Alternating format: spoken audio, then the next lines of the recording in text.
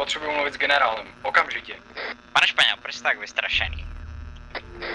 Proč jsem tak vystrašený? Outsideri jsou tady, nějaká nevládní organizace a na to je s nimi. Vidíme jejich lodě z baloty. Dobře, sledujte a sdělte nám detailní informace o tom, kdy a kde přijedou. Španěl, vy chvíli vydržte. Paviček, jste tam? Ano, já jsem generál.